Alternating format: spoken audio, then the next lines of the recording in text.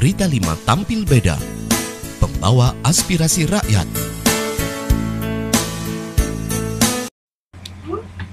Sudah jatuh, tertimpa tangga. Begitulah nasib tragis yang harus dijalani Aib warga Kabupaten Karawang. Pasca kedua kakinya tidak bisa digerakkan, dia harus menghuni gubuk berukuran 2 kali 3 meter di atas sebuah selokan. Hal tersebut menurut Didin Kaur Ekbang Desa Warga Setra, Kecamatan Tegalwaru, tempat di mana gubuk tersebut berada, untuk memudahkan Aib beraktivitas. Selain sebagai tempat tinggal, gubuk itu sekaligus menjadi MCK bagi penghuninya. Lima tahun sudah, pria Parubaya dari kabupaten yang dikenal sebagai lumbung padi nasional itu hidup dari belas kasihan warga lainnya. itu kan tadinya warga dari desa Cintalanggeng, cuman dia asalnya dari desa sini.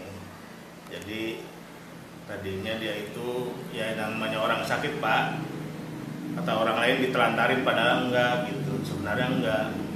Sebenarnya kalau orang sakit susah pak, mau digini-ginikan juga.